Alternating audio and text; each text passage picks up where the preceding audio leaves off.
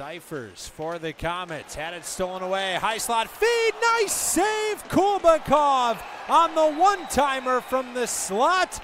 The crunch had a quality chance, and Kulbakov had the answer. Fed it forward, but it was stolen. Concord took it back. Oh, another terrific stop by Kulbakov, ranging right to left and denying Alex Barré-Boulet. The middle for McMaster, but Jan broke it up. He sent it in front. Great save. Kulbakov. Oh, and another one. Reaching out with the paddle and knocking it out of the air. What a save by Ivan Kulbakov.